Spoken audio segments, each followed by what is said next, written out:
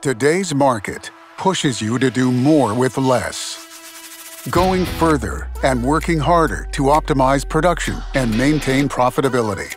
With so much on the line, you need technology that's proven.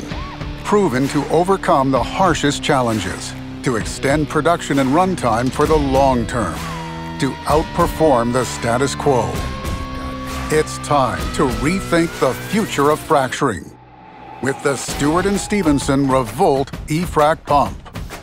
Considered to be one of the most powerful pumps on the market, with 6,600 horsepower on a single trailer.